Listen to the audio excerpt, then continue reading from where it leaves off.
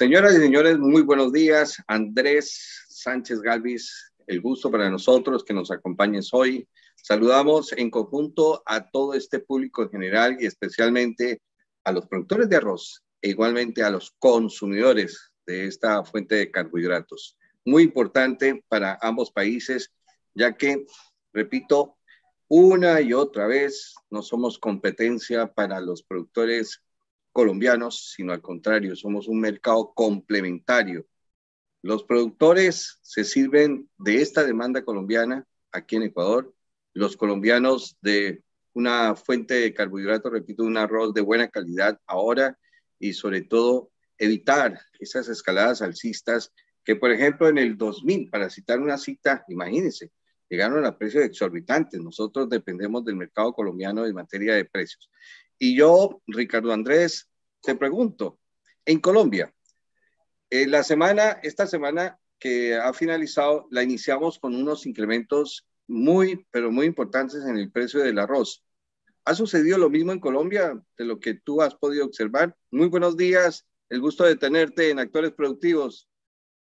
Hola, Juan Carlos, muy buenos días a, ti y a todos los productores ecuatorianos y colombianos que también sigan eh, a Actores Productivos. Gracias por la invitación y te comento, pues el, el, precio en Colombia también ha tenido un incremento del precio al productor. Eh, ya se está viendo una tendencia alcista nuevamente. Esto ocurre pues recurrentemente en los primeros meses de los, del año, es digamos que algo cíclico, eh, y este año no fue la excepción. El año antepasado sí no había pasado eso porque había una sobreoferta en el mercado colombiano y yo he preparado una presentación como para explicar cómo ha sido el, comportamiento del mercado colombiano y que, así como tú lo comentas, el arroz ecuatoriano que ingresa al país básicamente no es una amenaza para el, el, sector arrocero colombiano. Las cifras lo, lo, demuestran y adicionalmente pues sirve para paliar a veces esas deficiencias o ese déficit que se presenta eh, a nivel local sobre el arroz eh, y el consumo de arroz en Colombia, como el, sector arrocero colombiano y sus desafíos de competitividad. Eh, como habías comentado, yo soy un economista con una maestría en desarrollo rural, eh, gerente general de, de, Sangal Crops, que es la compañía que, que preseo, y conocimiento por más de 15 años del sector colombiano, del sector agropecuario. El mercado de arroz en Colombia, digamos, este es el contenido que, que, decidí tomar, mercado de arroz en Colombia, luego hablaremos de las importaciones de arroz en Colombia, de los precios al productor en dólares, para que podamos comparar ese precio, ya que la economía ecuatoriana está dolarizada, eh, los costos de producción, que es un factor determinante en si un sector va a continuar o no siendo productivo, porque en la medida que sus costos de producción no sean eh, buenos o que su costo unitario pues no esté eh, de manera competitiva con los principales mercados, es un sector que va a desaparecer en el futuro. Y algunas conclusiones pues referente a esta charla, esta presentación que tenemos hoy. Eh, gracias nuevamente por la invitación. Bueno, pues, ¿qué les puedo decir? El mercado colombiano tiene dos sistemas de producción, el sistema de producción riego y el sistema de producción secano. ¿Cuál es la diferencia? Básicamente que en el sistema de producción riego yo tengo la posibilidad, como diría uno, de abrir el grifo para que tengamos agua en, los momentos en que el cultivo más lo requiera. Eso se da principalmente en distritos de riego. Eh, aquellos que no están vinculados a un distrito de riego, pues tienen una concesión de agua que les permite utilizar ese recurso para obtener no solo mejores rendimientos, sino pues una, una producción que podría ser constante en el tiempo. De ahí la importancia de la infraestructura. ¿Qué pasa con el sistema de producción secano? Básicamente es un sistema que depende de la temporada de lluvias. Entonces, esto genera en Colombia una concentración de las siembras y asimismo de la cosecha, con un efecto de economía básica, que es cuando hay mucha oferta, normalmente cae el precio.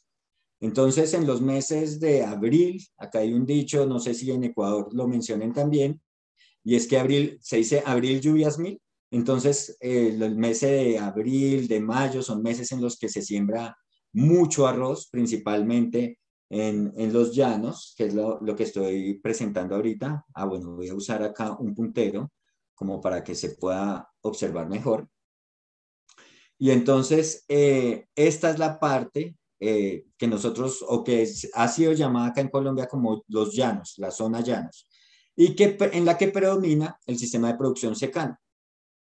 Ya salieron los datos eh, oficiales de la producción y del área sembrada en Colombia. Esto lo desarrolla en convenio la Federación Nacional de Arroceros con el Departamento Administrativo Nacional de Estadísticas, donde cada uno pues aporta, digamos, su conocimiento, el Departamento eh, Administrativo Nacional de Estadísticas, DANE, todo el conocimiento estadístico, y Fede Arroz, pues el conocimiento de las zonas, de las regiones, de, de, su experticia, que en este caso es el arroz.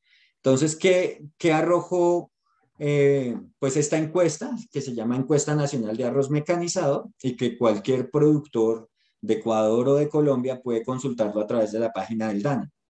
Entonces, ¿qué nos dice? Pues que en el año 2021 se sembraron, eh, se estima que se sembraron 544 mil hectáreas de arroz en el país, donde llanos presentó el, digamos, el mayor porcentaje de área sembrada. Esto tiene una explicación, eh, diría yo, lógica, y es que eh, los llanos ha venido siendo una de las zonas donde los costos de producción son más bajos. Incluso el costo unitario de producir una tonelada de arroz país eh, verde, pues es, es mucho más competitivo que el, de, que el de otras zonas. Entonces, esta es una de las razones por las que se ha venido incrementando el área sembrada en la zona, que ya alcanza pues al 51% del total del país. Estamos diciendo que más de la, o que la mitad del área sembrada en el país se siembra en la zona llanos. Luego viene la zona centro, que ha sido una zona tradicional de siembra. Ahí encontramos a los departamentos de Tolima y Huila, con un 23% de área. Y cuando comparamos eh, su participación en producción y en tanto de zona llanos como centro, pues vemos que la participación de la zona centro es mayor, porque los rendimientos son mayores, dado que casi todo, por no decir que, todo, se siembra exclusivamente bajo el sistema de riego. Eh, hay otros factores determinantes, si se usa semilla certificada o no. Este comportamiento de la semilla certificada cambia de un semestre a otro, de un año al otro, porque a veces los productores cuando empiezan a ver que los precios empiezan a bajar, pues empiezan a reducir costos. Y una de las formas de reducir costos que normalmente uno ve o, puede observar en campo es que ellos dejan de utilizar semilla certificada para reducir sus costos y utilizan el PADI, lo que ellos mismos cosechan, eh, como semilla. Que si es una buena práctica o una mala práctica, pues eh, digamos que eh, en este tema de competitividad cada uno va buscando cuál es su, su alternativa y los productores, algunos productores han tomado esa decisión de usar el PADI verde como semilla. Esto, estos valores, por ejemplo, hay años en los que el 50% del área sembrada en el país puede ser semilla certificada y otro y el 50% restante, pues, eh, PADI. Esto depende mucho de las condiciones de mercado, como les comentaba. Cuando los precios están buenos, alcistas, normalmente ellos sí compran semilla certificada, pues porque eh, digamos que ese precio que esperan a la hora de la cosecha va a compensar este incremento en este costo de, semilla. Eh, con respecto, por ejemplo, a las densidades de siembra, estas también pueden variar dependiendo de la forma en la que se siembre. Entonces, hay siembra al voleo, hay eh, con sembradoras de precisión, hay incluso trasplante en algunas zonas que esto puede, digamos, decir, alguien al, al voleo, alguien que siembra al, al, voleo, un productor que siembra al voleo puede estar sembrando alrededor de cientos, más de 150 kilogramos de semilla por hectárea, mientras que alguien que tenga una sembradora de precisión de pronto puede estar en 120 o menos kilogramos por hectárea y densidades muy bajas, sobre todo cuando se hace a través de trasplante. Otra digamos, condición del mercado del arroz en Colombia es que eh, el DANE, el Departamento Administrativo Nacional de Estadística, como les había comentado, tiene una encuesta que se llama la encuesta de calidad de vida y en ella se hace seguimiento al comportamiento del consumo de arroz. el consumo de arroz en el país, en Colombia, estuvo en 46 kilos para el año 2020. Sigue estando por debajo de otros países internacionalmente como China, por ejemplo, que llega a 100 kilos por persona año, eh, o, otros países asiáticos que están muy cercanos a ese nivel. Entonces, el mercado colombiano está a menos de la mitad del consumo de, por persona de lo que hace China. ¿Qué se espera? Pues que este consumo vaya eh, o, vaya a disminuir en la medida que también tiene comportamiento dependiente a los precios, como todo. Se aumenta mucho el precio, normalmente lo que pasa es que la, la demanda por ese producto baja. Eh, y digamos que dentro del campo social, pues el sector arrocero y el sector agropecuario en general es muy importante porque es uno de los motores de generación de empleo. Eh, por ejemplo, con el tema de la pandemia, el, yo creo que no solo en Colombia, sino en el mundo, los únicos sectores que se mantuvieron 24/7 eh, fueron los del sector agropecuario y sobre todo aquellos que estaban enfocados principalmente en alimentos. Entonces, eh, estimaciones del Ministerio de Agricultura de Colombia para el año 2013 indicaban que eh, por cada 7.2 hectáreas se generaba un empleo directo y por cada empleo directo se generaban eh, cuatro empleos indirectos. ¿Esto que nos lleva? Pues a que si en el 2021 se sembraron 544 mil hectáreas, estamos hablando de que se generaron alrededor de 76 mil empleos directos y otros 302 mil indirectos, lo que estaremos hablando de un total de 378 mil empleos que genera el sector en Colombia. Eh, factor determinante, por ejemplo, eh, para saber si va a haber inflación o no, qué tan alto va a crecer, pues esta oferta que se da en el mercado. Entonces, eh, por ejemplo, para enero la inflación en Colombia fue del 6,94. Está muy por encima, digamos, del, de la inflación objetivo por parte del Banco de la República de Colombia y el año pasado fue 5,62. Esto es un tema que no solo se ha visto en Colombia, sino que se ha visto en todo el mundo. El tema de la inflación eh, ha venido pegándole a todos los países y es algo que ninguna nación quiere porque obviamente eh, si su poder adquisitivo se ve afectado, eh, en general la calidad de vida de los ciudadanos de cada país pues va, va a tener problemas. Eh, algo adicional que no he comentado y es, es que el sector arrocero eh, participa según el comportamiento que éste tenga, porque como les comento es, es un cultivo de ciclo corto, entonces puede tener variabilidades muy grandes de un año a otro. Hay años en los que se siembran 500 mil hectáreas y otros años en que se llegan casi a, a, 600 mil hectáreas. Entonces estamos hablando de 100 mil hectáreas de diferencia pues, que afectan considerablemente el mercado. Entonces, de, dentro de la economía, pues uno puede decir que el sector arrocero participa con 3.2 a 4.5% del PIB agrícola.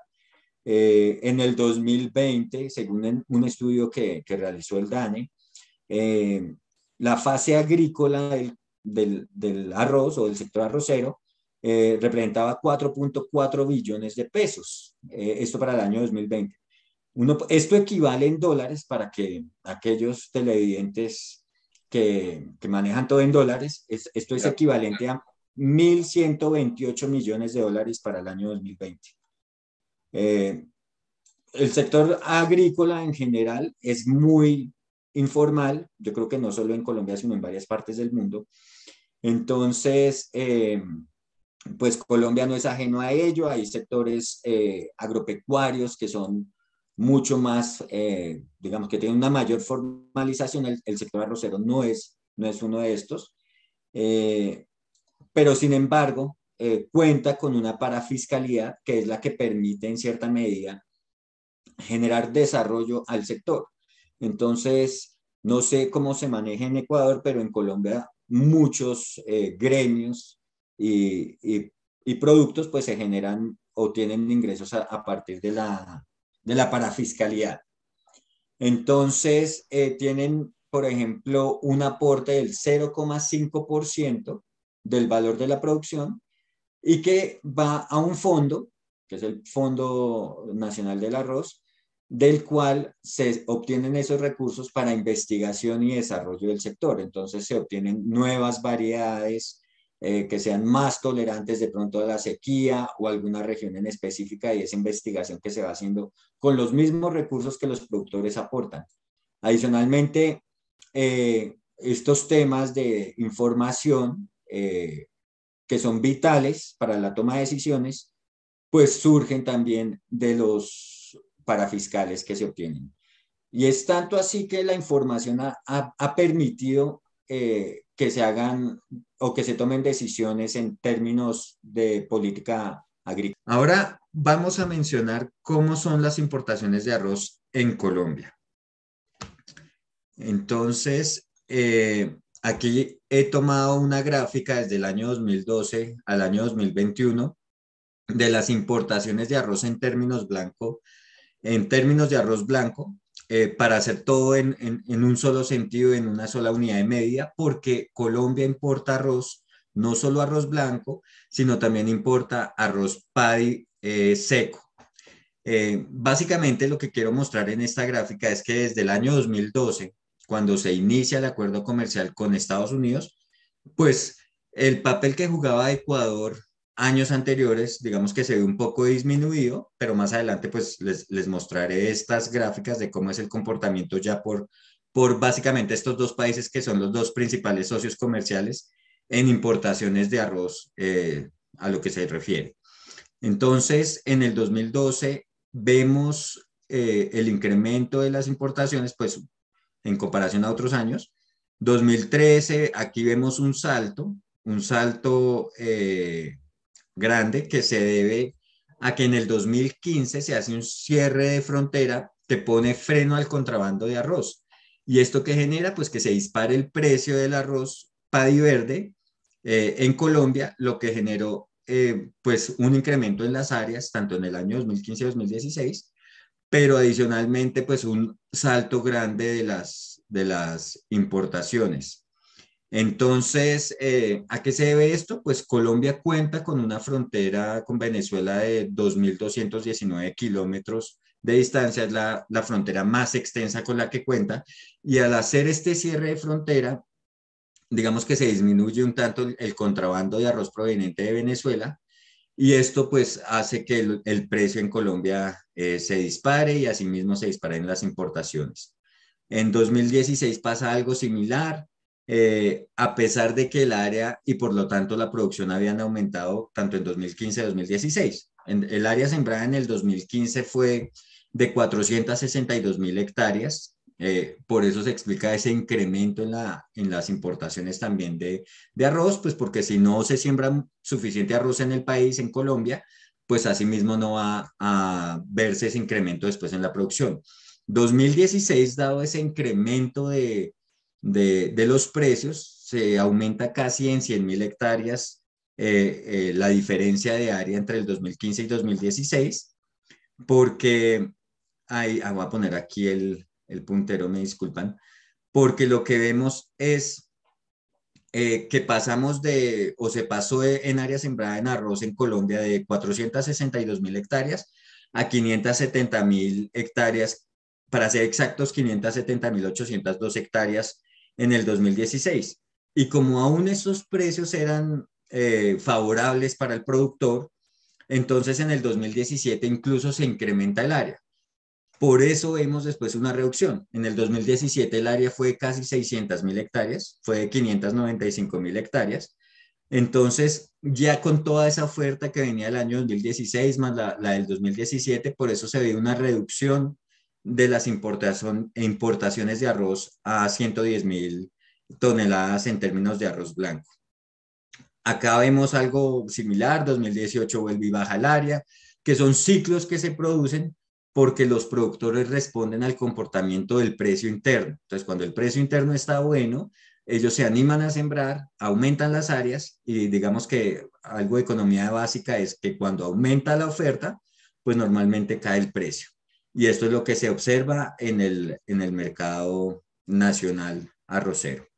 2020 es la cifra en área sembrada máxima alcanzada en siembras porque los precios estuvieron por encima de los máximos históricos Y por eso en el 2020 se llegaron a una siembra de 596 mil hectáreas, que es eh, lo máximo que se ha sembrado en el país.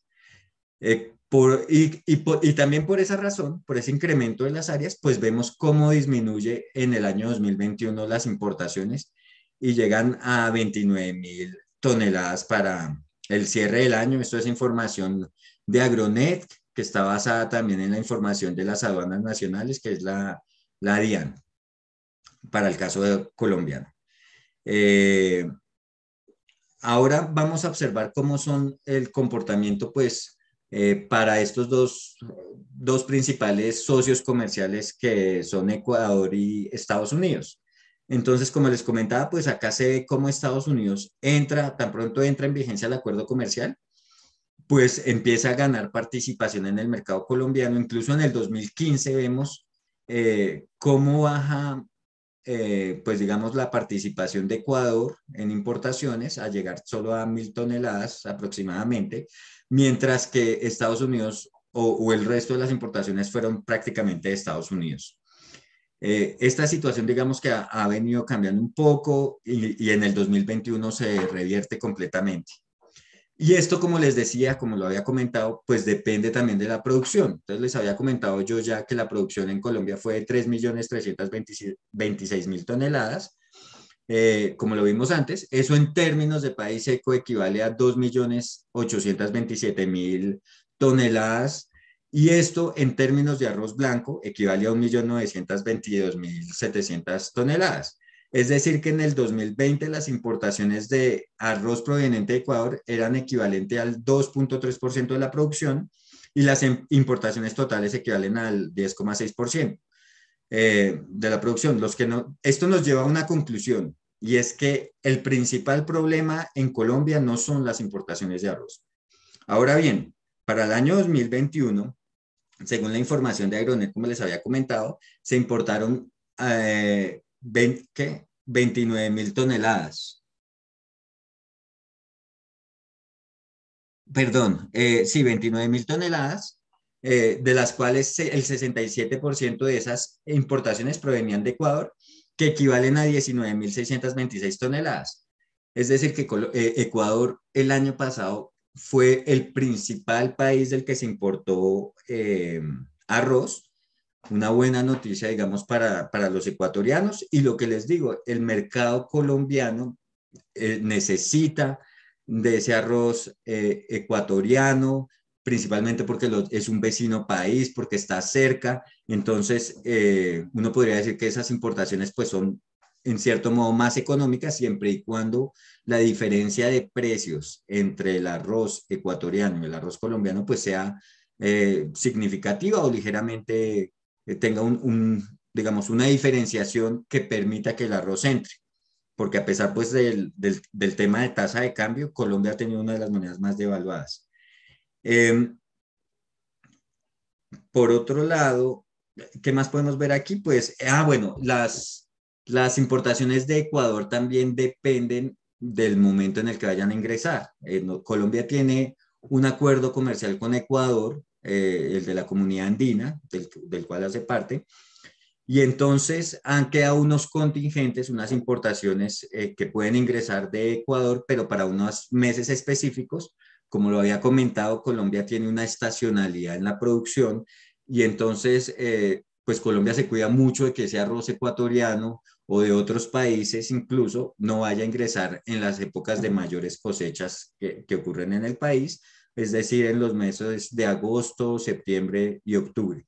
Por eso el arroz ecuatoriano normalmente entra en diciembre o entra a principios de, del año.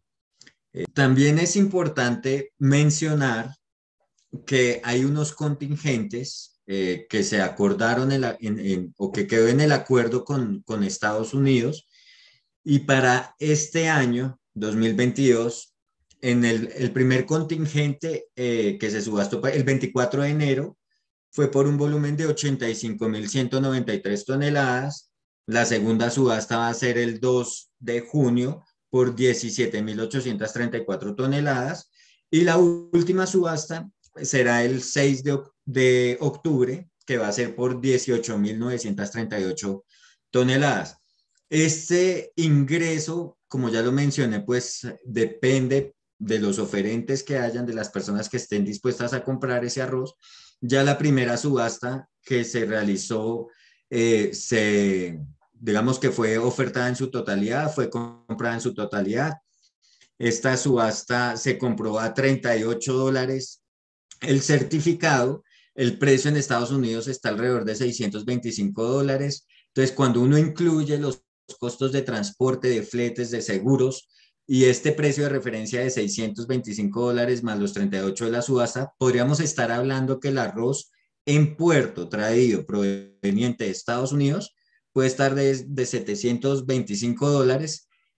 Eh, y esto en quintales, eh, para, que me, para hacerme entender un poco mejor con, con ustedes los, los ecuatorianos, estaríamos hablando de 34 dólares el quintal, que es un precio eh, diría yo que está eh, por encima, un precio alto en comparación pues a, a otros años. Ecuador tiene un contingente o la posibilidad de que ingrese arroz eh, proveniente de Ecuador a cero arancel de 104.282 toneladas. Normalmente no ingresa todo ese cupo, como vemos en, en, en, años anteriores, existía la posibilidad también de que ingresara más arroz, pero pues no, no ha ingresado eh, este arroz. Lo que vimos, como ya lo comenté, fueron 19.626 eh, toneladas. Y lo que ha venido ingresando, pues también es, y parece ser que este año no va a ser la excepción, es principalmente de eh, Estados Unidos, según pues la información de la primera subasta que ya se realizó. Estas subastas sin contar la, la reciente, la del 2022, han representado ingresos eh, para Colombia de, de, estas utilidades en promedio durante lo que lleva el acuerdo comercial, o sea, los años que estamos observando, de un ingreso de 87 millones de dólares, que es lo que eh, estaría ingresando por, eh, por el acuerdo comercial solo referente a las subastas que se han llevado a cabo tomando el promedio de, del precio de la subasta, del certificado. Eh, cuéntame, Juan Carlos. Lo que comentas es muy importante, sobre todo porque no hay una planificación desde el lado de Ecuador para invadir al mercado ecuatoriano. Esto es baches, oportunidades de negocio. Sube el arroz en Colombia, desde luego es más fácil a cualquier comerciante allá en el vecino país venir aquí en Ecuador, que lo trata muy bien, y va a encontrar siempre producto que comprar, aún con dolarización, aún con los innúmeros problemas actuales, aumento de los combustibles, impuestos y demás, Ecuador sigue siendo una oferta interesante y oportuna para Colombia, desde mi punto de vista. Entonces, muy buena observación, sobre todo porque los mismos gremios, y tengo que decirlo, y se lo digo a usted directamente, señor de Fede Arroz, al gerente general, que diga que hay que acabar con la comunidad andina, que porque Ecuador va a exterminar a los productores arroceros, gracias, eh, las cifras están ahí. Esto demuestra que debe ser un mercado complementario y está nuestra, eh, nuestro principal objetivo de tener estas indicaciones de un especialista como lo es Ricardo. Eh, simplemente hago esta observación porque hay que decir las verdades y no se puede seguir jugando ni con los consumidores colombianos que pagan un arroz a alto precio, ni con los eh, aquí agricultores que siempre ven en la ventana colombiana un buen comprador y sobre todo un nivelador de, de mercado. Eh, sigue, por favor, Ricardo. Mm, mm, listo, gracias, Juan Carlos. Y, como podemos ver, por ejemplo, para el 2020, estaríamos hablando que esto es casi el 10% de la producción total del país. El total de importaciones, teniendo en cuenta las importaciones de Estados Unidos, que sí son más significativas, digamos, en términos de volumen que las de Ecuador. Sin embargo, 2021, pues cuando hay tanta oferta en el país, básicamente vemos cómo se caen las importaciones provenientes de del resto del mundo. Tanto de Estados Unidos como de Ecuador o, de otros países. Incluso en, ese, en el 2021 del año pasado, había o se había excedido la capacidad de almacenamiento del país.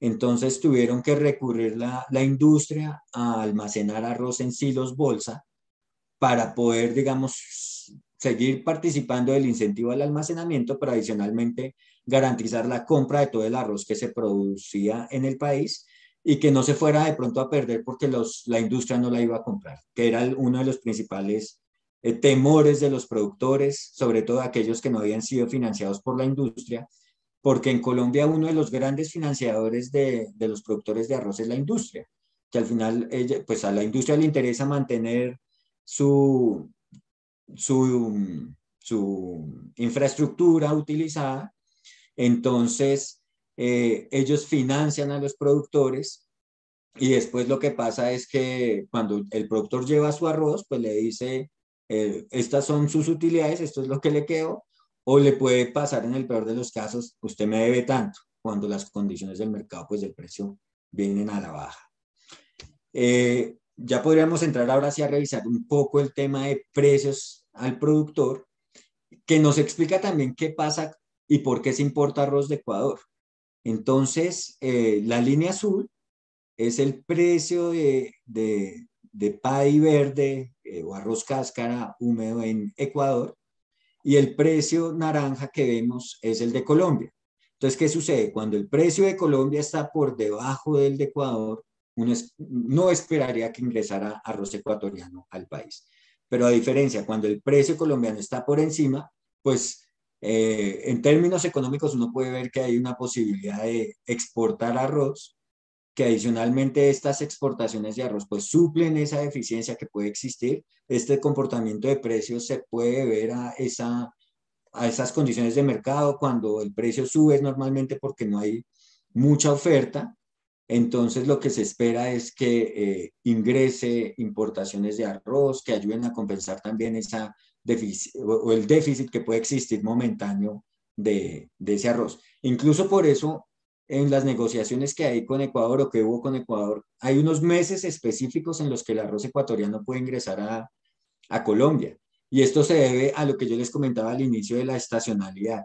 Entonces, eh, Colombia no va a querer que ingrese arroz en los meses de agosto, septiembre, incluso octubre, porque son meses en los que hay suficiente arroz y vendría, digamos, eh, este arroz importado también, aunque no es significativo lo que se importa, pues a generar un poco de presión sobre los precios, que ya de por sí normalmente siempre van a estar por debajo. Pero como lo vimos, pues en las importaciones no es el gran problema eh, en el mercado arrocero colombiano, o al menos no las de Ecuador.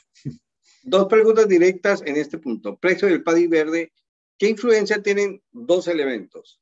La devaluación del peso colombiano frente al dólar y este esta firma de un tratado que poco a poco le permite a Estados Unidos ingresar con más contingentes de arroz a Colombia. Eh, sin duda alguna, o sea, acá como lo estamos viendo en, en dólares, podemos ver que eh, el efecto de la tasa de cambio es grandísimo. A pesar de la devaluación, de que Colombia sea uno de los países con su moneda más devaluada del mundo, a pesar de eso, eh, no alcanzamos todavía a ser competitivos para estos años con Ecuador, porque lo que estamos viendo es que el precio colombiano aún está por encima, inclusive con esa devaluación tan alta. Entonces, eh, afecta, claro, o sea, se hace más costoso también importar arroz, por eso vemos que en teoría mejora la competitividad. Estamos hablando de tasas de cambio que han superado la barrera de los 4 mil pesos por dólar, que era algo que no se esperaba, pero pues que está afectando considerablemente eh, la economía y que además no solo afecta las importaciones de arroz, sino las importaciones de insumos necesarios para la producción de arroz. Entonces, ¿qué se está viendo ahorita en el 2022? Un incremento considerable en los costos de producción, no solo del sector arrocero, sino en general del sector agropecuario, porque la urea ha subido, porque, eh, bueno, en general los, los fertilizantes, eh, ingredientes activos, porque muchas agroquímicos que se producían en la India y en China, pues muchas plantas cerraron por temas ambientales o porque están cambiando de, digamos que están modernizando o cambiando su economía adicionalmente. Entonces, todo esto ha hecho que, que, hayan incrementos en los costos de producción referente a insumos, ¿no? Es, ese por el lado de la, de la tasa de cambio. Con respecto a Estados Unidos, pues hay unos contingentes que quedaron en el acuerdo. Hay un arroz, básicamente, que ingresa, en teoría, cero arancel, pero en realidad lo que se hace es pagar por unos certificados. Tema de costos de producción. Entonces, ¿qué pasa en Colombia? Yo les decía, hay dos sistemas de producción, el sistema riego y el sistema secano. Entonces, en el sistema riego vemos que hay un costo del riego que está por cercano a los 100 dólares por hectárea, ¿sí? Este costo, pues obviamente no lo tiene el sistema secano porque digamos que su, su agua proviene, el agua lluvia, que no está valorada para este costo de producción. Pero digamos que uno podría valorarlo dependiendo de aquellos que, que tengan de pronto reservorios o hagan algún tipo de manejo para conservar el agua para futuros, eh, digamos, futuros meses.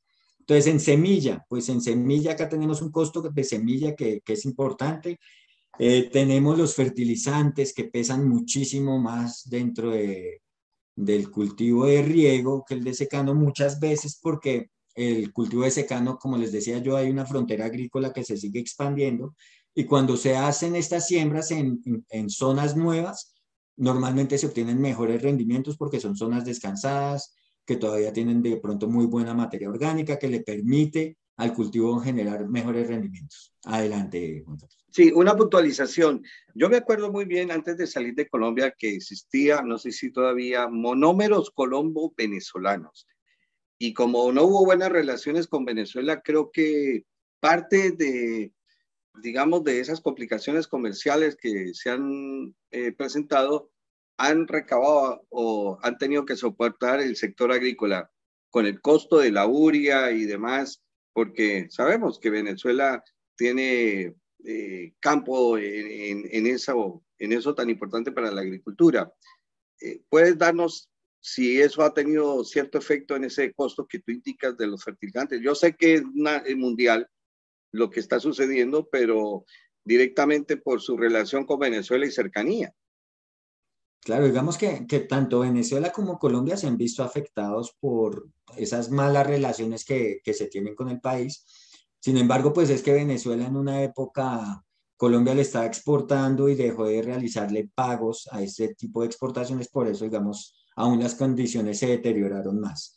Pero sin duda alguna, si, si Venezuela es productor de fertilizantes, teniéndolo de vecino país, pues los costos de transporte, los costos de, comercio serían mucho menores y habría un beneficio, ¿no? Sin embargo, pues eh, la posición del gobierno siempre ha sido que no hay que hablar con la dictadura de Maduro y pues por eso también, digamos, eh, se ve ese cierre económico, no solo por parte de Colombia, sino por parte del resto del mundo a la economía venezolana. Eh, bueno, eh, miremos, por ejemplo, agroquímicos, que es otro de los, de los factores importantes dentro de los costos. Ahí tenemos eh, o mencionamos lo que son herbicidas, insecticidas, fungicidas para el cultivo del arroz y el tema de mano de obra. Entonces aquí también vemos cómo el tema de mano de obra pesa mucho más en el sistema de, de riego que en el secano precisamente por lo que les decía, que hay, uno puede hacer mayor mecanización en zonas donde las áreas son mucho más grandes, a diferencia de zonas de riego que normalmente son más, más pequeñas. Y factor determinante dentro de los costos de producción y que los productores no pueden hacer nada por reducirlo es el tema del arriendo. En el arriendo estamos hablando de un 60 eh, por ciento de los productores son arrendatarios, un 40% o 45% son propietarios. Eh, ¿Vas a comentar algo, Juan Carlos? Sí, volvamos al mano de obra. ¿En qué etapa el cultivo demanda más mano de obra? ¿Siembras?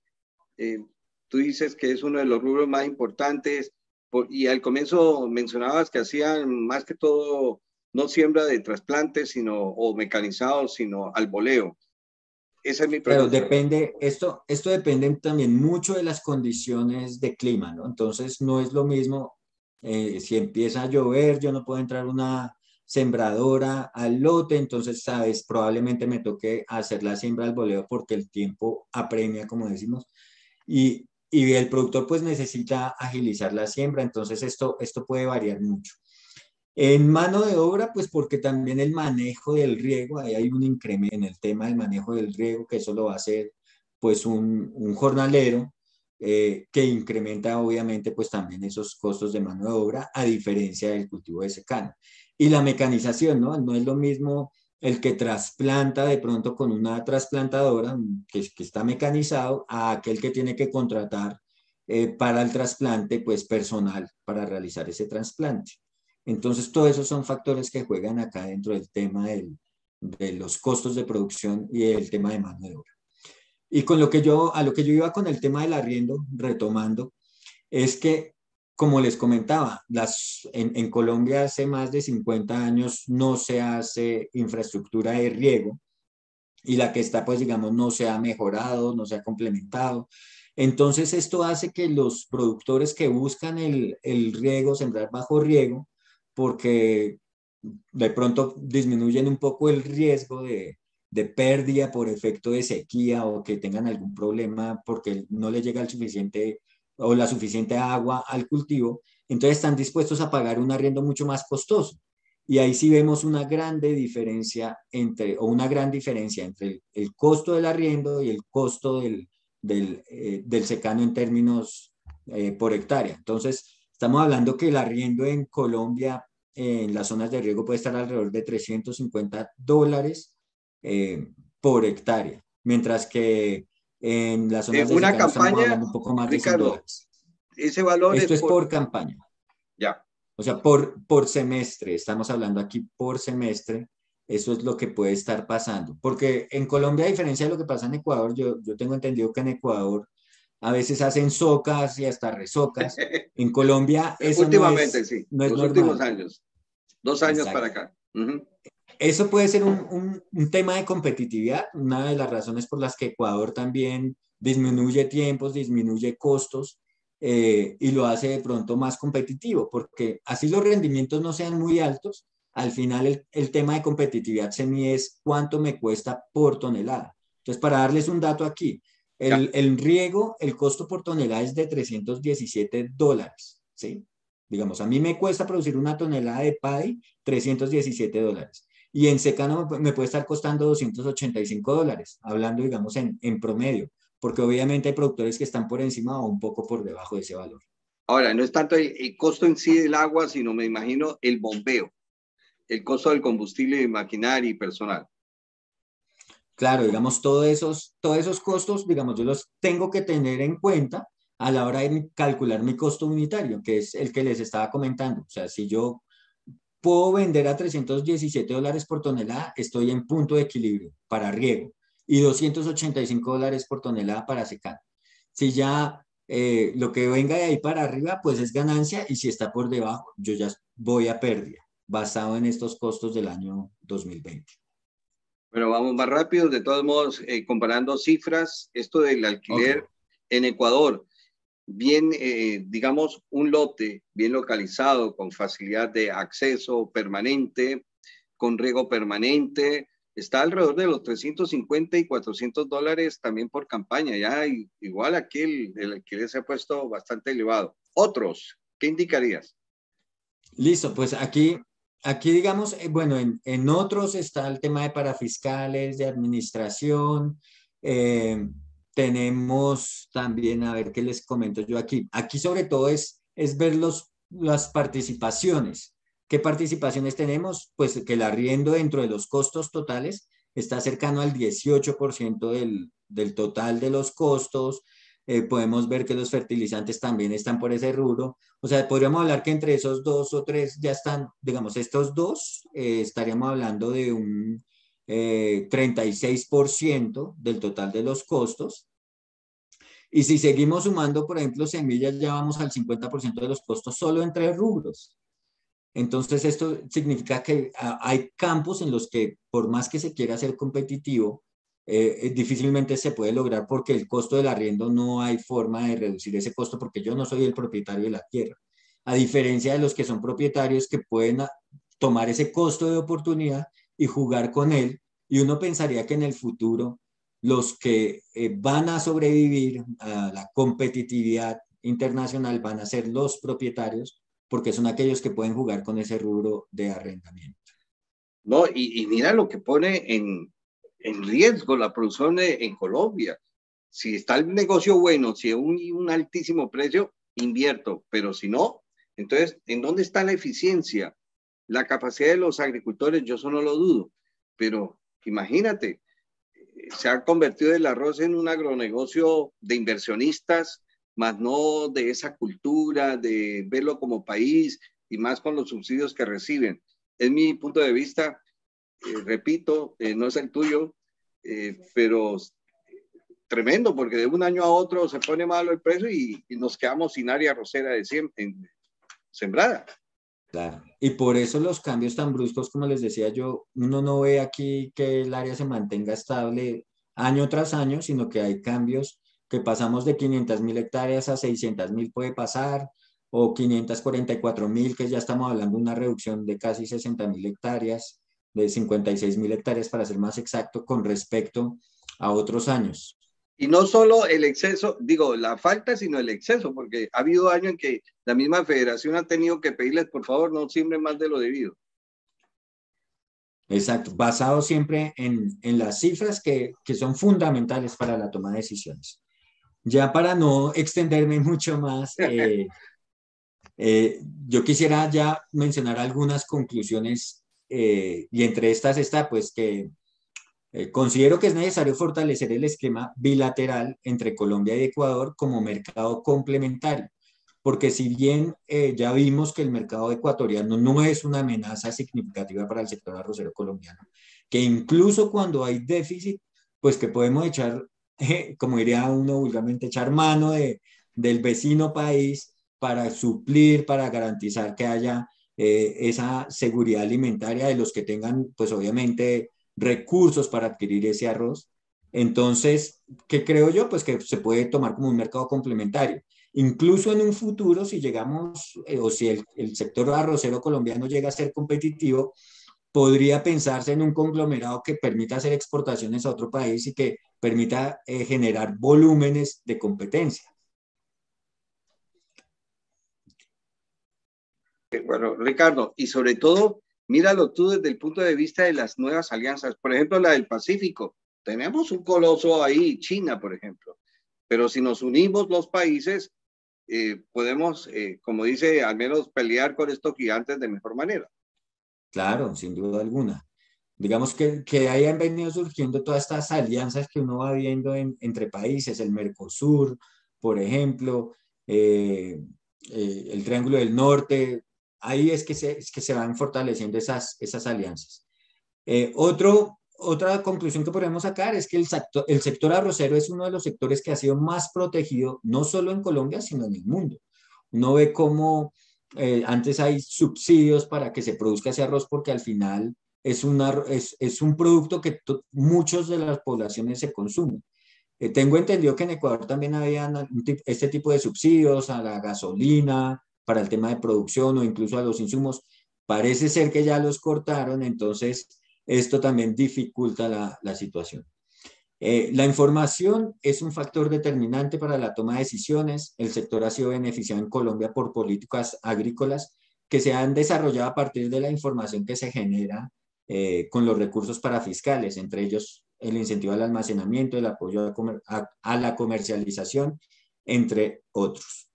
Eh, la seguridad y soberanía alimentaria es fundamental para garantizar una estabilidad de los precios, para que dejemos ese tema de IPC, de inflaciones, de esa variación del IPC de inflación que ningún gobierno o nación desea y que puede, eh, pues como lo, lo decimos, generar esos efectos inflacionarios que se vieron como consecuencia de la pandemia, pero que además responden en muchas ocasiones a la oferta y demanda del propio país.